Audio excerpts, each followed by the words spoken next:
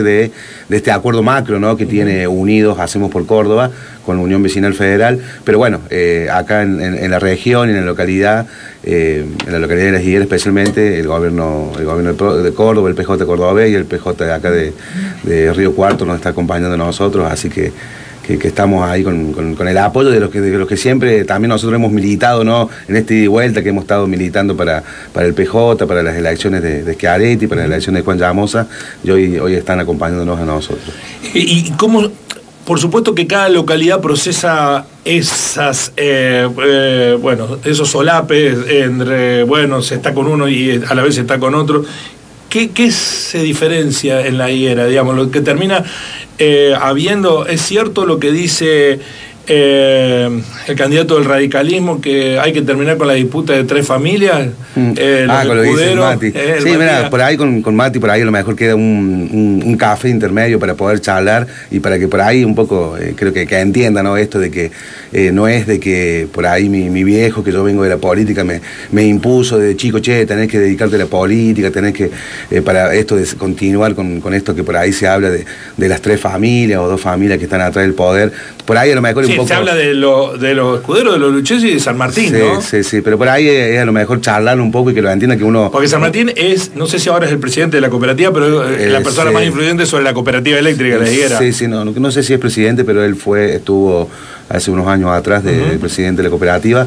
Pero por ahí esto es, charlar y a lo mejor quienes por ahí piensen eso, que entiendan de que uno no es que está influenciado por esto de, de las familias del poder, sino que que uno tiene una pasión, ¿no? Atrás de esto, que empezó por una pasión y que después uno le fue dando responsabilidad y bueno, ya acá estamos, ¿no? No, no es que uno lo impone de la familia, eh, bueno, si bien yo tengo cinco hermanos, ¿no? Y, de todos, eh, ninguno ha querido eh, salir con la política y el único que por ahí le, ha gustado y hasta, hasta también hubo en un momento cuando yo fui candidato a concejal, una disputa, ¿no? Con, mi papá de que él no quería que me meta, no quería que, me meta en la política por todo lo que él había vivido ahí, y bueno, yo iba por otro lado, yo tenía la intención de estar, así que bueno, que, costó encima en ese momento eh, poder meternos en la lista, con, la agrupación, con el espacio que estábamos, lo logramos y bueno, hoy estamos acá, acá trabajando firme como lo venimos haciendo hace ocho bueno, Eh... ¿Escudero ha hecho buena, mala gestión? ¿Jurados distintos? ¿Lo mismo que Escudero? Mira, por ahí un poco eh, creo que no hay que subestimar ¿no? a, los candidatos. ¿no? Por ahí escucho que se subestima tanto a Andrea y que por ahí también lo subestima al equipo nuestro, que dicen, ah, eh, eh, va a estar atrás Luchesi Padre, que ya Luchesi Padre ya está jubilado de la política, ¿no? Y por ahí de Andrea también escucho lo escucho mismo. Eh, pero yo creo que, dicen que va a estar Escudero atrás.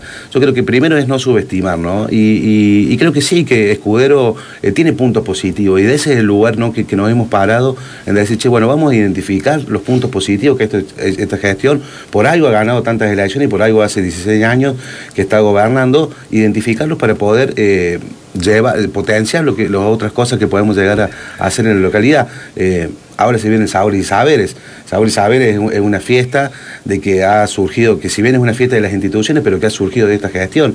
Entonces, eh, esos son puntos que creo que tenemos que continuar de la actual gestión porque son positivos para la gente, para la localidad, y creo que tenemos que poner por delante a los vecinos antes que las ambiciones, los pensamientos personales. ¿Y qué los diferencia?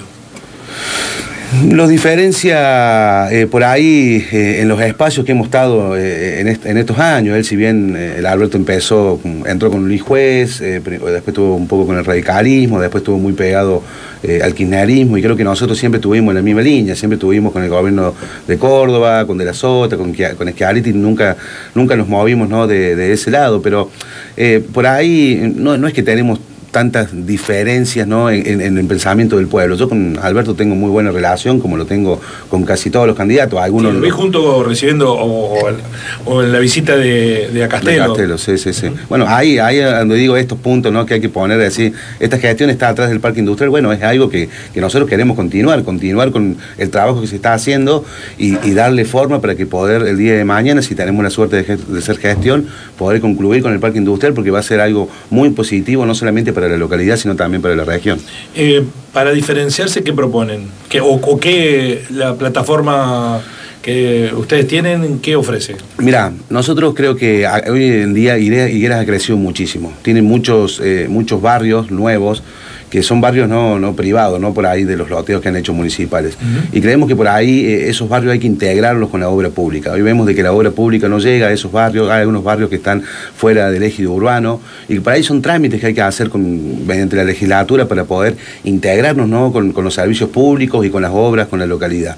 Eh, también el tema de, de, loteos, que son, eh, esto que te digo, de puntos positivos de esta gestión. Esta gestión al principio hizo un plan de loteo solamente para la gente de las higueras, para vivienda única, y después eso se fue dejando rezagado, ¿no? Hoy el plan de loteo es abierto para quienes son residentes o no de la localidad. Y en aquel momento... Eh, sí, la explicación que da Escudero, que estuvo también aquí, es que, eh, bueno, ya todos los de las higueras pudieron acceder a un loteo y que ahora abrieron el juego hacia afuera, o hay gente todavía que no puede Imagínate que en 15 años de gestión, cuando se hizo eso, 13, ya hay un cambio generacional.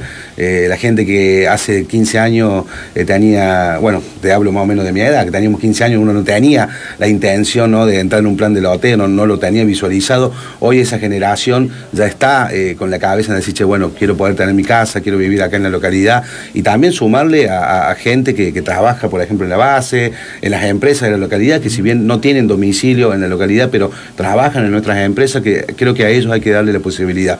Este cambio generacional, ¿no? Que ha quedado rezagado en aquel plan de loteo que yo lo celebro y, creo que fue algo muy bueno que hizo esta, gente, esta gestión porque mucha gente se ha podido construir su casa, pero hoy me parece que tenemos que volver un poco para atrás, identificar ese punto positivo y darle la posibilidad a los nativos del pueblo y a los jóvenes. Está con nosotros en el cara a cara, Jan, que se llama Giancarlo. Gianfranco. Gianfranco, no Giancarlo. Giancarlo es el cantante. Eh, sí, exacto. Gianfranco Lucchesi. Eh, eh, vos fuiste crítico en más de una oportunidad por las cuestiones judiciales con Escudero. ¿Crees que ha hecho una gestión honesta al frente del municipio? Mira, yo creo que por ahí e-, este tema que, que hemos sido críticos porque ha sido de público conocimiento y nosotros lo que quisimos es eh, llevar a lo que la ley nos dice. Nosotros eh, el año pasado, no el anterior, se trató eh, la suspensión ¿no? del intendente, que lo pedimos no solamente Jean Luchesi, sino otros concejales, en base a querer cumplir la ley y en base a que había una causa judicial y que creíamos, de lo que decía la ley, que de pleno derecho quien está procesado no podría estar en funciones.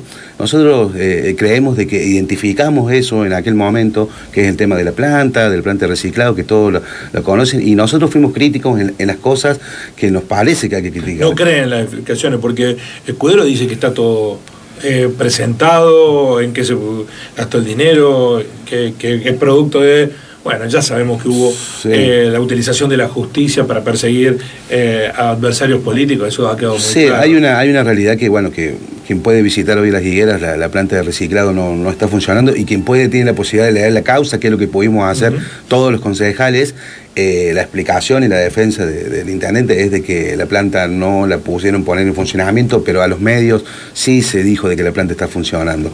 Creo que, eh, no es que fuimos críticos, sino que es esto en defensa de los recursos de, la gente, de la localidad, eh, pero también hemos acompañado muchas cosas. Creo que hay algo muy positivo que ha pasado en las higueras, que nosotros hemos acompañado los presupuestos, que eso no pasa, creo que ni a nivel nacional, ni a nivel provincial, ni locales, en la región, de que la oposición acompañe los presupuestos. Porque nosotros, esta nueva generación que entiende de que no hay que, decir, eh, sí, soy la oposición, todo negativo, no. Ellos son los que quienes ganaron las elecciones y ellos son los que van a diagramar a su manera cómo, cómo iban a gastar el dinero de los recursos de la municipalidad. Sí, nosotros podemos por ahí eh, tener algunas críticas o darle algunos consejos de en qué es lo que creemos que tendrían que llevar un poco más los recursos, como es en salud, que hoy en salud se destina del presupuesto municipal solamente el 4,5%. Entonces por ahí es aprobar, que acompañar. No alcanzan eso, digamos. Y creemos de, que, de que tenemos no que... tiene una buena infraestructura en salud Creemos que tenemos que, que tenemos que, mejorar, que darle, que darle un poco más de, recursos para, para, que la gente de la localidad se sienta contenida ¿no? ante alguna emergencia eh, y que después sí se pueda derivar acá a Río Cuarto, que tenés, eh, que tenés las clínicas, que tenés las clínicas privadas para que se puedan hacer entender. Pero bueno, yo soy hijo de un médico y lo he visto mucho eso cuando hace 7, 8 años vivía mi papá en, las higueras, que siempre la gente por ahí va y, te, y le golpeaba la puerta para poder, viste, que el médico te, salve del momento, que te diga, que te deje la tranquilidad del momento. Y hoy por ahí en la localidad eso no pasa. Eh, vos son las 12 de la noche, las 10 de la noche y querés ir a hacerte atender y, no tenés la posibilidad de que el médico te diga, no, mira, tranquilízate, está bien, eh, no es algo tan grave, mañana anda a hacerte ver. Bueno, hoy eso, eso en las higueras no lo tenemos y creemos que porque tenemos que erogar un poco más el presupuesto ¿no? para, para el sistema de salud. Eh, Gianfranco, ¿qué yo sé que debe estar orgulloso de tu papá, porque uno siempre termina defendiéndolo, aún desde la crítica a quienes nos trajeron al mundo. Pero que tenés que lidiar con el pasado de lo que dejó el Luchesi político, no estoy hablando de Luchesi persona, porque eso no, es lo que está en discusión aquí, o, te ayuda el Mira, es que ahí es la diferencia, por ahí lo que más se critica es por ahí Luchesi, no sé si persona humana como es, sino por ahí el, carácter que ha tenido él, no como él ha sido como gestión. Eso es lo que yo eh, palpo en, las higueras, sí, que por ahí él tenía otra forma, que, que eso es lo que lo diferenciamos. Creo que eh, tenemos los mismos pensamientos, bueno, si bien en algunas cosas no, pero más o menos pensamos en, cómo, eh, pero la forma es, diferente. Y, no lidio por eso, porque la gente también le, reconoce que en aquel momento el pueblo estaba, estaba más, un poco más, más lindo estaba más, bello, de que el intendente escuchaba. Entonces por ahí yo siempre digo de que de la Sota siempre nos decía de que para ser un gran renovador hay que ser un gran conservador. Y ahí es, es donde los paramos, es decir, Vamos a conservar las cosas buenas que hizo Luchesi, vamos a conservar las cosas buenas que hizo Escudero para poder eh, ser un beneficio para, y aprender de las cosas malas, ¿no? Que, que por ahí esto, por ahí eh, esto que remarcan el carácter, que bueno, yo lo he vivido y lo vivo en mi casa. Vos tampoco fuiste un, no.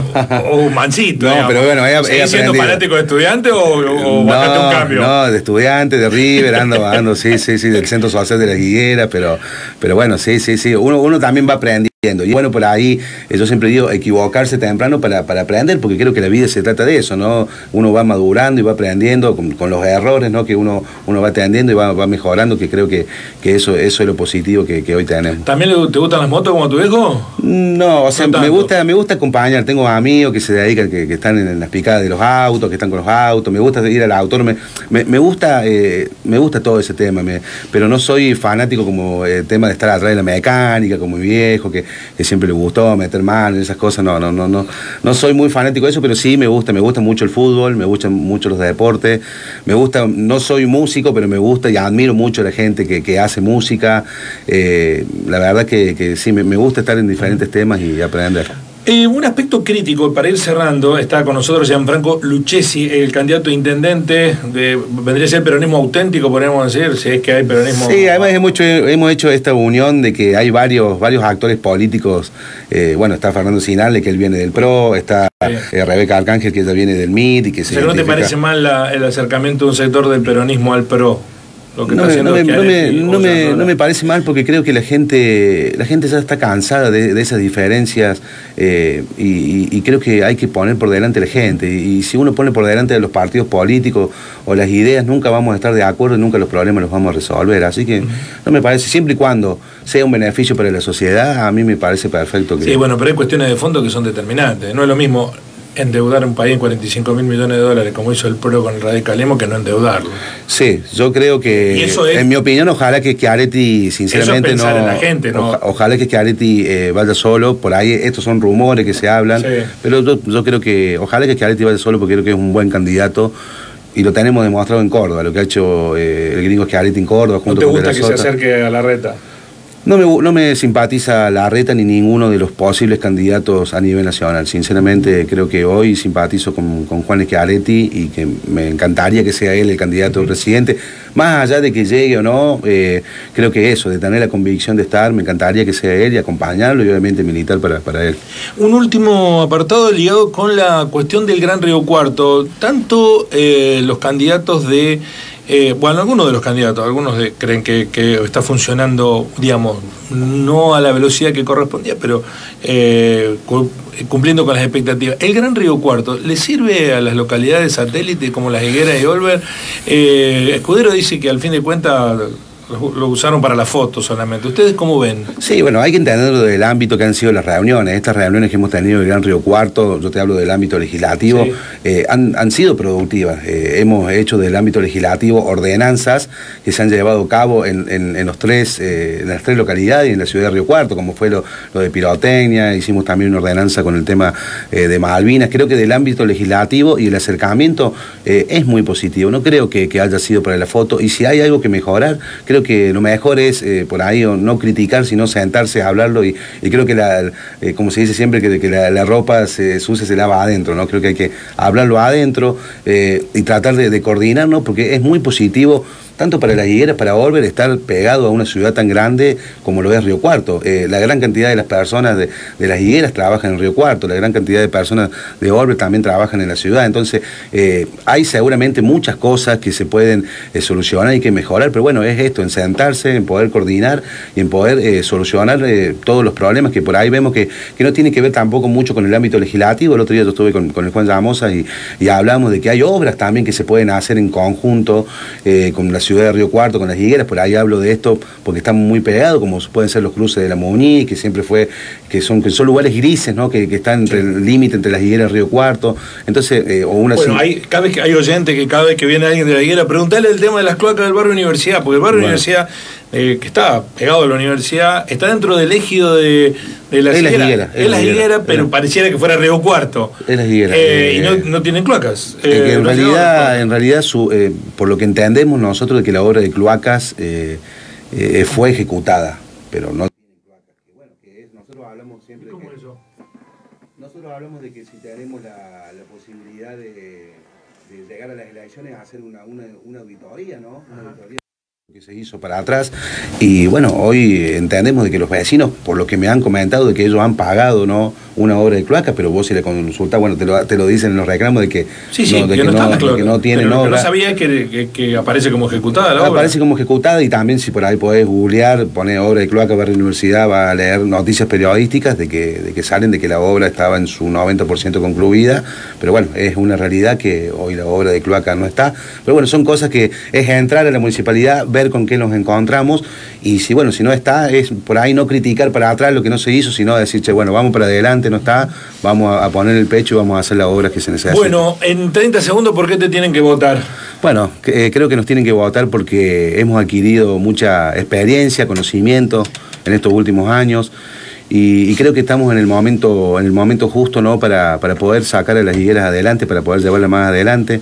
También eh, por ahí a los jóvenes, que los jóvenes sé que están muy expectantes, que, que fueron muchos los que los acompañaron en la otra elección, por esto de, la empatía con la juventud. Pero creo que hoy son ellos los que uno le pide de que les transmita ¿no? a sus padres, a sus tíos, a sus amigos, a la gente más grande, de que los den una oportunidad porque estamos preparados, de que tenemos muchas ganas, que también eso es lo importante, de que estamos también alineados con, creo que va a ser el futuro gobernador de todos los cordobeses, Martín Yayores, y eso va a ser muy importante para poder eh, tener, eh, proyectar para las higueras, para poder llevar a las higueras más adelante. Gracias por venir, Jean, muy amable. No, por favor, gracias a vos. En el cara a cara, el candidato a intendente de Unidos por las Higueras, Gianfranco Lucchesi. Así